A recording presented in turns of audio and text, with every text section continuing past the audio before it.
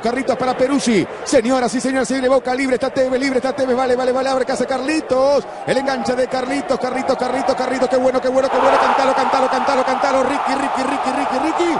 ¡Gol!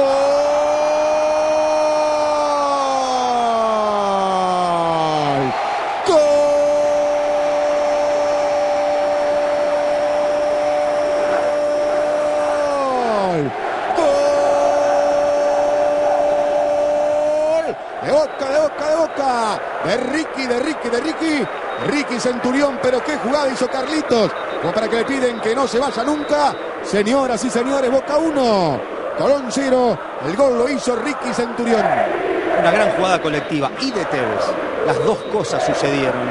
Porque Boca trasladó la pelota de izquierda a derecha con Gabo que abrió. Encontró esta apertura acá porque Colón fue barriendo de un lado a otro, pero la circulación de la pelota fue más fluida y más... Centurión se viene Ceballos. La estaban entregando ya para Silva. Sigue Silva. Lindo centro de Silva. ¡Ah! ¡Oh! Leguizamón. ¡Gol!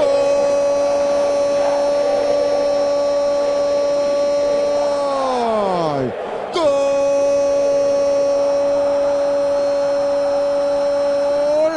Colón de Santa Fe, su número 9. Lindo centro tirado por Silva. De cabeza Leguizamón para empatar el partido.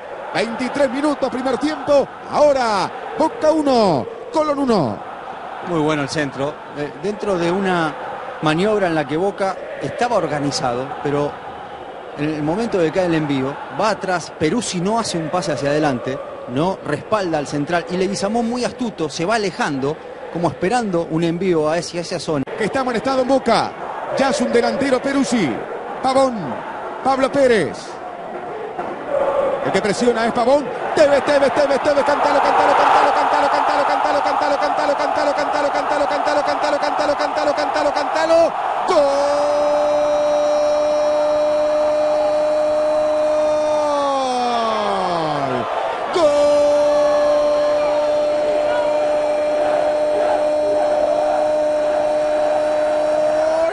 De boca de Carlitos, de Carlitos Tevez.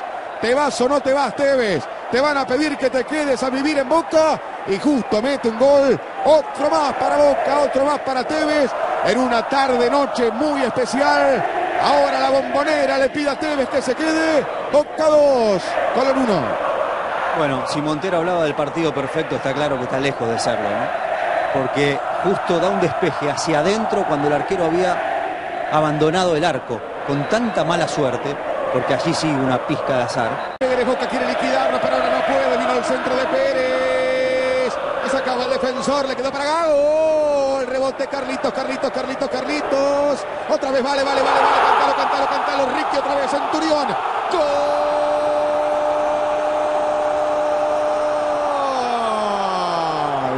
¡Gol!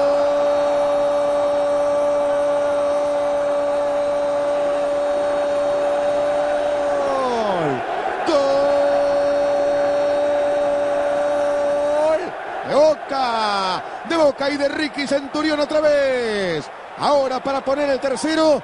16 minutos de segundo tiempo. Lo quería matar Boca, lo quería liquidar Boca. Centurión dice que gana el equipo de Guillermo por 3 a 1.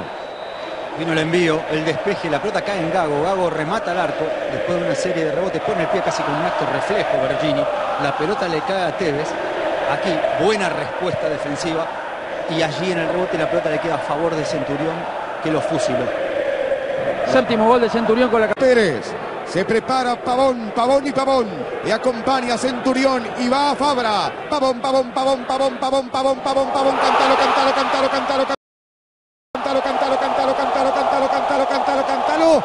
Señoras y señores, con ustedes Pavón. Este es Pavón, que también pide disculpa y marca el cuarto gol de Boca. Gol.